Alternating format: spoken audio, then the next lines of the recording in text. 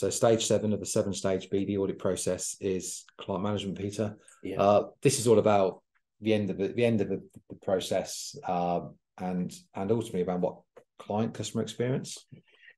Well, it's interesting that if you imagine that people have gone through all those previous six stages, and then inevitably, whether you're a professional consultant like an architect or you're an SME family contracting business, um, the the people that have gone out and found the opportunity, the business development person, and then the bid team could be could be one in the same, but it could be different.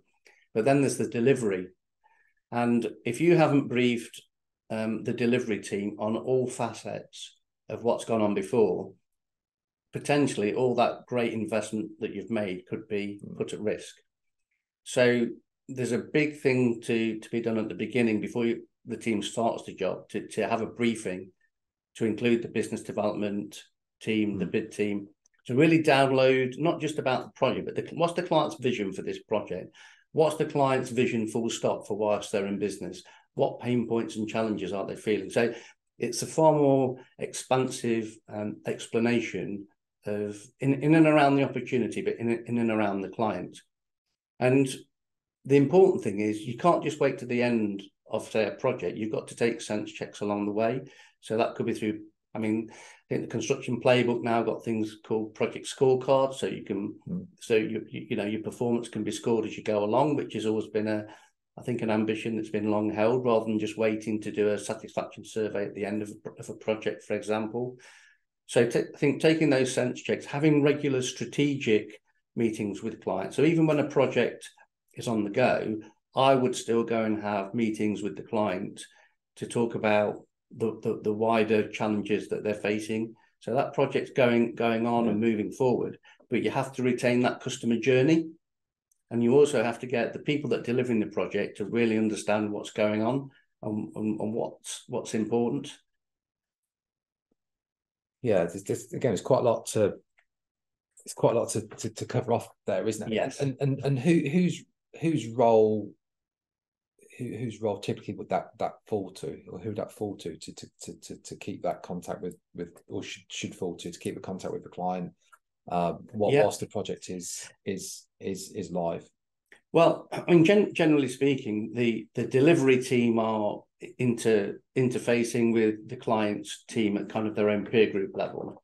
Um, but in most cases, most SME business will a, a, project director will take a direct interest with with the senior mm. person in the client's organisation to to be sense checking what's going on as like independently, um, but but also again to to talk about the, the client in a, in a in a wider perspective in terms of the strategic because things can change mm. within a month, not just during the project, but how the, what the client's facing. So I think it's there's a directorial responsibility. And most directors, partners in in SME businesses will tell you that they do that and, and they like to do that. And and some, depending on the size of the business, are still actually doing some project delivery themselves okay. and want to be involved in projects. Some want to let that go and into the senior team to let them deliver it. So there's a distinction between delivering mm. and and kind of um, someone taking overall responsibility for what I would call the, the client relationship. Yes. Yeah. Yeah. Yeah. Peter, thanks thanks for going through the uh, the, the, business audit process, the seven stages. Uh, if anyone out there is interested, uh, what we're offering is, I think, is a, is a, is a, pre-scoping questionnaire, which will, will just enable us to gather some information uh, about their respective businesses, and then that will then followed by a what a three 90 minute scoping session. Is that right? That's right. Yes, yeah. we obviously we'd like clients to to come back to us and provide us with some initial details of how their business development activities are faring, um, and then we can pick that uh, that detail up through a, a scoping call of ninety minutes just to flesh that out a bit more, get to a position of understanding, um, and uh, obviously take it to the next stage, hopefully, which will be a deeper dive uh, into solving some some challenges and uh, making the most of opportunities. Perfect. And and the importance of the scoping session on other business development audits that you've ran. I know you've ran ran quite a few of these audits over the years, because uh, it just give you a flavour for what areas you might end up spending a bit more time on during the the, the audit. Is that right? Absolutely. I mean, inevitably, um, businesses are stronger in some areas that, that, than others, and, and obviously they they come to the fore. But it's not just about solving problems; it's about making the most of yeah. of opportunities. And and the deep dive uh, part of the, the, sort of third part of the, of the of the sort of BD audit process. It, it could be all seven stages. Yes. It could be two out of the seven. It could be yeah. a, any any number. But sometimes you have to make sure you fix those individual pieces to make the rest of it work. Yeah, sure. And and and the, and the, and the, the point there you make is very valid and and it's probably worth share, uh, reiterating is, is this is a very tailored, personalized approach, isn't it? It's not off a shelf. You know, you, you will tailor, uh, tweak your approach to to to to to to to, to the to the client. In, in, in my view, every single business is is unique, even if they do the same discipline. Because there are always different nuances, um, personalities, um, and and approaches in business. So it, it's a very kind of personalised service um, to SME construction businesses.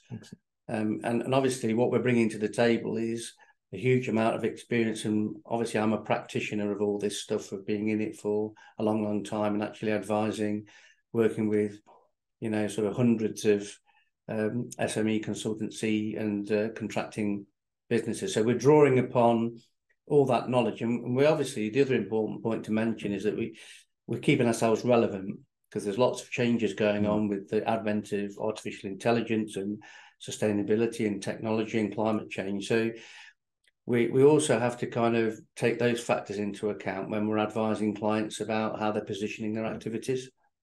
Excellent. Thank you, Peter.